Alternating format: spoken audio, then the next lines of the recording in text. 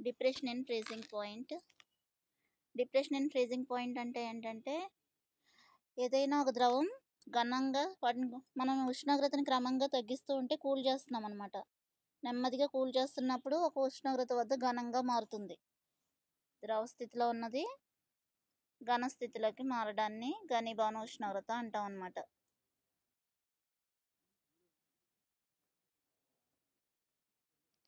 నిన్నట్లాగే ఈ ఘనీభవన ఉష్ణోగ్రత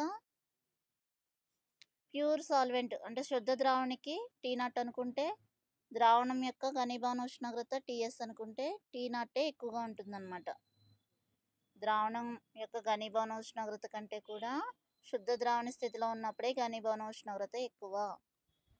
ఈ రెండిటికి మధ్య ఉండే డిఫరెన్స్ని భేదాన్ని మనం ఘనీభవన స్థాన నిమ్నత అంటాం.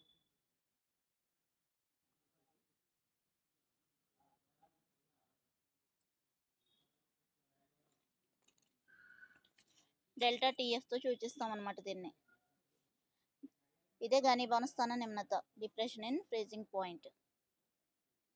అలాగే దీని నుంచి ఫస్ట్ తర్వాత మనం స్మాల్ ఎం వాల్యూని డిటర్మిన్ చేయాలి.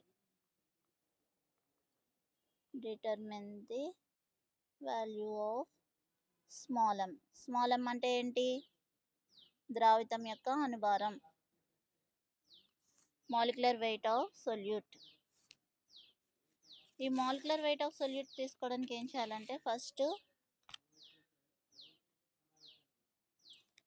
ఈ ఘనీభవన స్థానం నిమ్నత కానీ బాష్పీభవన స్థానం ఉన్నతి కానీ ఇవన్నీ కూడా లోవరింగ్ ఆఫ్ వేపర్ ప్రెషర్కి బాష్పపైన నిమ్నతకి అనులోమనుపాతంలో ఉంటాయి. ఎప్పుడు ఫస్ట్ ఇది తీసుకోవాలి ఈ రిలేషన్ని delta TF directly proportionality to P not minus PS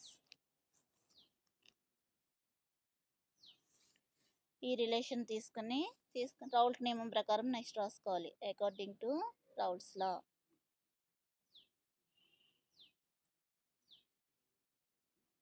Raoult's law ప్రకారం మనకు తెలిసిందేంటి P not P not minus PS by P not is equal to small W by small M into capital M by capital W ఇది మనకు తెలిసింది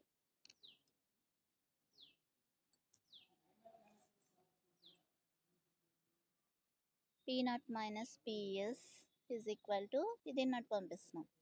Small W by small M into capital M by capital W into P naught ఇక్కడ small W అంటే ద్రావితం యొక్క భారం. ఎం అంటే ద్రావితం యొక్క అనుభారం. క్యాపిటల్ ఎం అంటే ద్రావణి యొక్క అనుభారం. క్యాపిటల్ డబ్ల్యూ అంటే ద్రావణి యొక్క భారం. ఈ రెండు సాల్వెంట్కి సంబంధించినవి ఈ రెండు సొల్యూట్కి సంబంధించినవి. పీ నాట్ అంటే శుద్ధ ద్రావణి ప్యూర్ సాల్వెంట్ యొక్క బాష్పీండం అనమాట అది. ఇందులో ఏంటంటే ఎప్పుడు కూడా ఈ క్యాపిటల్ ఎమ్ మరియు పీనట్ వాల్యూస్ ఎప్పుడు కాన్స్టెంట్గానే ఉంటాయి అవి. వాటిని మా మారవు అనమాట అంటే ద్రావణి యొక్క అనుభారము మారదు. అలాగే పీనట్ అంటే శుద్ధ ద్రావణి యొక్క బాష్పీండం కూడా మారదు. ఈ రెండు ఎప్పుడు కాన్స్టెంట్గా ఉంటాయి. అందుకని P not minus PS directly proportionality to small W by ఇంక ఈ రెండు కాన్స్టెంట్లో తీసుకున్నాం అనమాట ప్రపోర్షనాలిటీ పెట్టాం కదా అవి రెండు కాన్స్టెంట్. ఇది second equation. Equation one and two అనమాట P not minus PS delta TF ఏమో పీ నాట్ మైనస్ పిఎస్కి ప్రొపోర్షనాలిటీలో ఉంది. పీ నాట్ మైనస్ పిఎస్ ఏమో దీనికి ప్రొపోర్షనాలిటీలో ఉంది కాబట్టి దీన్ని దీనికి యాడ్ చేస్తాం అన్నమాట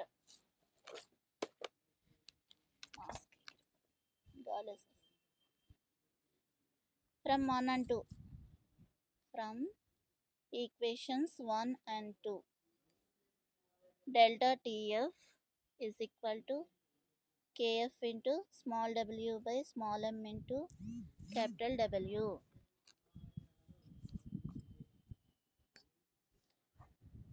one and two equations నుంచి మనం ఈ రిలేషన్ని రాసుకుంటాం. Delta TF equal to KF into small W by small M into capital W. ఇక్కడ మళ్ళీ వీటి గురించి రాయండి. స్మాల్ డబ్ల్యూ అంటే ఏంటో రాయండి. స్మాల్ ఎం అంటే ఏంటి? క్యాపిటల్ డబ్ల్యూ అంటే ఏంటో రాస్తారు.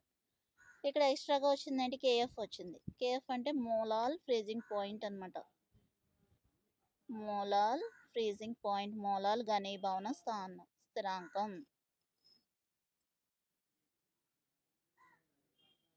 లేదా క్రయోస్కోపిక్ స్థిరాంకం అని కూడా అంటారు. క్రయోస్కోపిక్ కాన్స్టెంట్ అని కూడా అంటాం మనం దీన్ని. టీ కేఎఫ్ని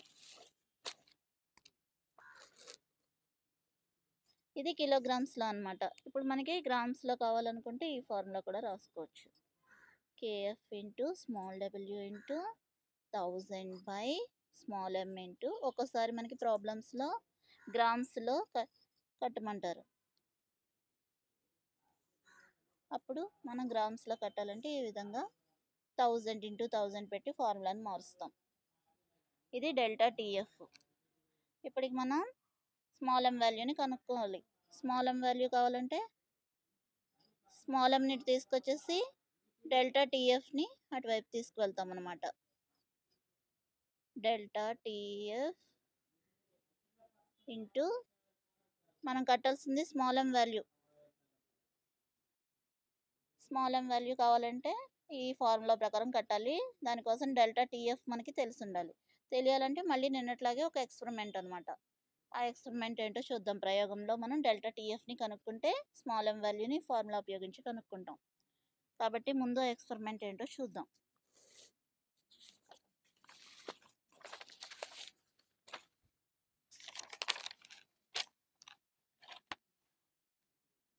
ఘనీభవన స్థానాన్ని నిమ్నతను నిర్ణయించే ప్రయోగం.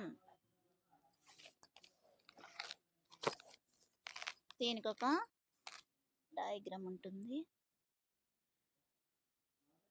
మధ్యలో ఒక థర్మోమీటర్ ఉంటుందమ్మా.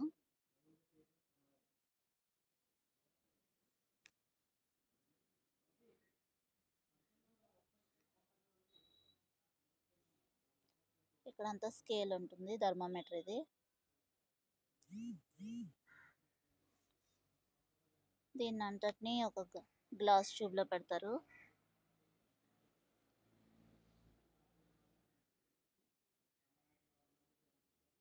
ఈ గ్లాస్ ట్యూబ్లో మనం ద్రావణాన్ని తీసుకుంటాం.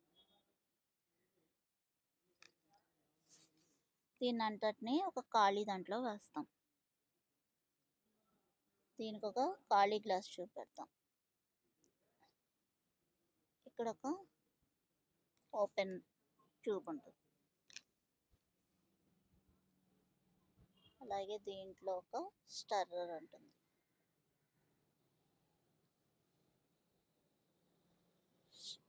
స్టర్రర్ అది థర్మామీటర్.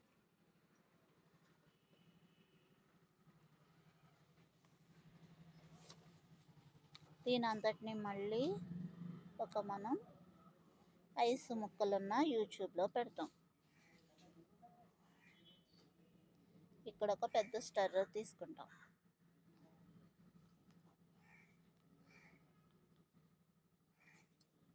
ఇదంతా కూడా ఐస్ ముక్కలతో మనం నింపేస్తాం.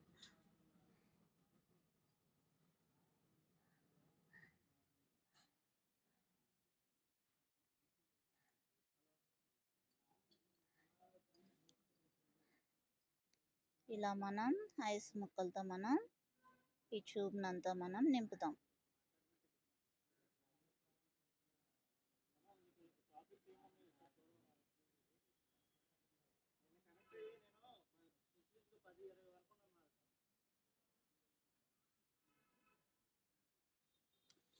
ఇవంతా హిమీకరణ మిశ్రమం అంట. ఐస్ ప్లస్ సాల్ట్ ఇది. అంటే బాగా కూల్ అవుతుంది.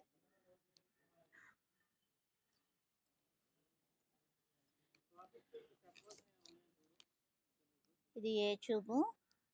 ఇది బి చూపు. మా చూసారు కదా ఫస్ట్ ఏం తీసుకున్నాము? ఒక గ్లాస్ ట్యూబ్ తీసుకున్నాం ఏ ట్యూబ్ తీసుకున్నాం? తీసుకుని దాంట్లో మనం ఫస్ట్ శుద్ధ ద్రావణి ప్యూర్ సాల్వెంట్ని నింపాం. ప్యూర్ సాల్వెంట్ని నింపేసి దాంట్లో ఒక థర్మామీటర్ అడ్జస్ట్ చేసాం దాని యొక్క టెంపరేచర్ తెలుసుకోవడానికి. దాన్ని ఒక ఖాళీ గ్లాస్ ట్యూబ్లో పెట్టాం ఫస్ట్. ఇది ఖాళీ అనమాట గాలి ఉంటుంది అంతే ఇక్కడ ఎయిర్ ఉంటుంది. దీన్ని మళ్ళీ తీసుకెళ్ళి ఒక పెద్ద ice plus salt. Freezing mixture ఉన్న పెద్ద ఐస్ ఒక యూట్యూబ్లో పెట్టాం మళ్ళీ. ఈ ఐస్ ముక్కల వల్ల ఈ కూలింగ్ అనేది ఈ ద్రావణానికి అందుతుందనమాట ఈ ఐస్ ముక్కల వల్ల అది కూడా నెమ్మది నెమ్మదిగా టెంపరేచర్ తగ్గించుకొని గడ్డ కట్టడం మొదలు పెడుతుంది ఫస్ట్ ద్రావణాన్ని తీసుకుని ఇంట్లో పెట్టగానే కొంతసేపటికి ఏమవుతుందంటే ఈ ద్రావణం మసక్గా కనిపిస్తుంది అనమాట మనకి. టెర్బిడిట్గా వచ్చినట్లుగా కొంచెం గడ్డ కడుతూ ఉంటుంది. కొంచెం తెల్ల తెల్లగా అలా కనిపించగానే మనం టెంపరేచర్ నోట్ చేసుకోవాలి థర్మామీటర్లో టెంపరేచర్ నోట్ చేసుకుని మళ్ళీ దాన్ని బయటకు తీసేసి మళ్ళీ కూల్ అయినప్పుడు మామూలుగా అయినప్పుడు టెంపరేచర్ నోట్ చేస్తాం అనమాట అలా రెండింటికి మధ్యన యావరేజ్ తీసుకుంటాం. అది టీ నాట్ అనుకుంటాం. ఈ ద్రావణికి ద్రావితాన్ని కలుపుతాం ఈ ట్యూబ్ ద్వారా. ద్రావితాన్ని కలిపినప్పుడు ఏమవుతుంది? ఇది ద్రావణి ప్లస్ ద్రావితం కలిసి ద్రావణం ఏర్పడుతుంది. ద్రావణం ఏర్పడిన తర్వాత మళ్ళీ మనం దీంట్లో పెట్టగానే మళ్ళీ ఎప్పుడు టెర్బిడ్ స్టేట్ ఏర్పడుతుందో మసక ద్రావణం ఎప్పుడు ఏర్పడుతుందో వెంటనే మళ్ళీ మనం టెంపరేచర్ నోట్ చేస్తాం. దానిని టీఎస్ అనుకుంటాం. టీఎస్ టీ నాట్ కంటే కూడా తక్కువగా వస్తుంది మీకు ఎక్స్పెరిమెంట్లో. ఆ రెండింటి యొక్క మైనస్ తీసుకుంటారు. దాన్ని డెల్టా టీఎఫ్ అనుకుంటారు. ఇది మనం ఎక్స్పెరిమెంట్ ద్వారా కట్టాలి. ఈ ద్రావణాన్ని పెట్టగానే అది ఎప్పుడు గడ్డ కట్టడం మొదలవుతుందో ఆ టెంపరేచర్ నోట్ చేసుకుంటాం. మళ్ళీ ద్రావణం తీసుకుని దాని యొక్క ఎప్పుడు గడ్డ కడుతుందో ఆ టెంపరేచర్ నోట్ చేసుకుంటాం. ఆ రెండింటికి మధ్యన డిఫరెన్స్ కడతాం అనమాట డిఫరెన్స్ కడితే డెల్టా టీఎఫ్ వాల్యూ వస్తుంది. ఇప్పుడు మీకు ఇంతకు ముందు కట్టారు కదా స్మాల్ ఎమ్ ఫార్ములా. ఆ స్మాల్ ఎమ్ ఫార్ములా ప్రకారం మీరు KF into small W into thousand by delta TF into small capital W. ఈ ఫార్ములాలో వేసి స్మాల్ ఎమ్ కట్టచ్చు అప్పుడు. డెల్టా టీఎఫ్ ఈ ఫార్ములా ఈ ఎక్స్పెరిమెంట్ ద్వారా డెల్టా టీఎఫ్ కడితే మీరు స్మాల్ ఎం వాల్యూ కట్టచ్చు అనమాట ఈ విధంగా మీరు ఘనీభవన స్థాన నిమ్నతని కడతారు. సరే అటెండెన్స్ తీసుకుంటామా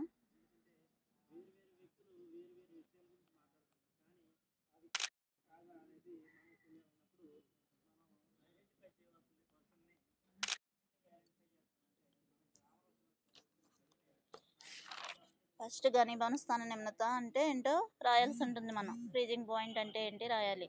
ఈ ఫ్రీజింగ్ పాయింట్ దగ్గర ఘనం ద్రవం రెండు కూడా ఒకదానికొకటి సమత స్థితిలో ఉంటాయన్నమాట. ఇప్పుడు ఎగ్జాంపుల్ మంచు తీసుకుంటే ఐస్ తీసుకుంటే అది జీరో డిగ్రీ సెంటీగ్రేడ్ దగ్గర ఘనంగా మారుతుంది. ఆ ఘనంగా మారిందంటే అక్కడ అర్థం ఏంటి? ఐస్ ఇంకా ఘనస్థితి ద్రవస్థితి రెండు కూడా ఇక్కడ ఈక్విలిబ్రియంలో ఉన్నాయని అర్థం అనమాట ఒక ప్యూర్ సాల్వెంట్ యొక్క ఫ్రీజింగ్ పాయింట్ సొల్యూషన్ యొక్క ఫ్రీజింగ్ పాయింట్ కంటే కూడా ఎప్పుడు ఎక్కువగా ఉంటుందన్నమాట. ఆ డిఫరెన్స్నే మనం ఘనీభవన స్థాన నిమ్నత అంటాం. అలాగే ఈ ఘనీభవన స్థాన నిమ్నత ఎప్పుడు కూడా బాష్పపీడన నిమ్నతకి అనులోమానుపాతంలో ఉంటుంది. రౌల్స్ నియమం ప్రకారం మనకు తెలిసింది రాసుకుంటాం. రావుల్స్ నియమం ప్రకారం సాపేక్ష బాష్పపీడన నిమ్నత relative lowering of vapour pressure అనేది మోల్ సొల్యూట్ యొక్క మోల్ ఫ్రాక్షన్కి అనులోమానుపాతంలో ఉంటుంది. దాన్ని బట్టి మనం ఈ ఫార్ములా వస్తుంది. ఆ ఫార్ములా రాసుకుంటాం. తర్వాత ఇది P naught minus PS is equal to ఇటువైపు పంపిస్తాము. ఎమ్ పీనట్ ఎప్పుడు కూడా కాన్స్టెంట్గా ఉంటాయి. అందుకని ప్రపోర్షనాలిటీ పెట్టుకున్నప్పుడు ఆ రెండింటిని తీసేస్తాం. ఈక్వేషన్ వన్ అండ్ టూ నుంచి delta TFM P naught minus పిఎస్కి అనులోమానుపాతంలో ఉంటుంది. పీనట్ మైనస్ పిఎస్ ఏమో దీనికి అనులోమానుపాతంలో ఉంటుంది. కాబట్టి దాని నుంచి దీనికి రిలేషన్ని కలుపుతాం.